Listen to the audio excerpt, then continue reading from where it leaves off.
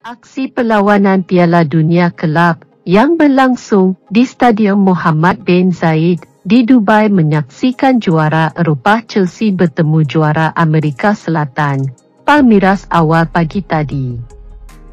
Gol pertama disumbang oleh penyerang berbisa skuad di Blues, Romelu Lukaku dengan hantaran dari Marcos Alonso di bahagian tepi.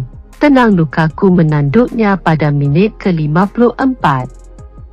Tak sampai 10 minit, Palmeiras telah menyamai kedudukan satu sama apabila pengadil perlawanan, Chris Bede dari Australia telah memberi sepakan penalti apabila bola terkena tangan Christensen.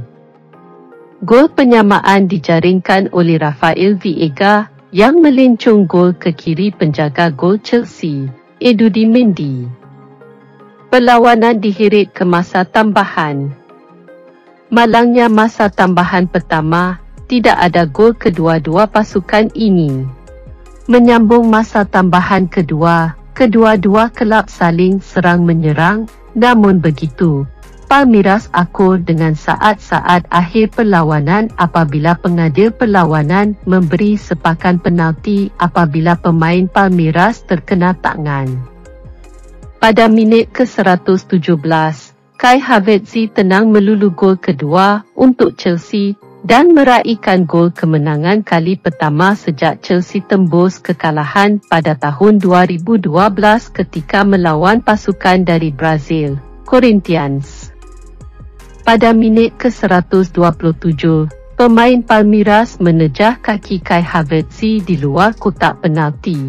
Pengadil perlawanan telah memberi kad merah untuk Luan Garcia.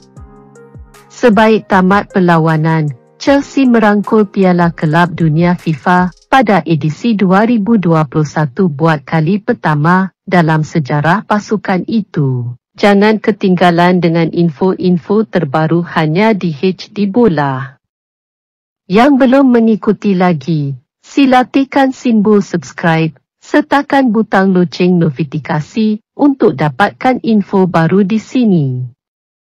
Yang sudah menekan subscribe, rajin-rajinkan tangan anda untuk mengkomen di ruang komen, berserta kongsikan video ini jika ada bermanfaatnya.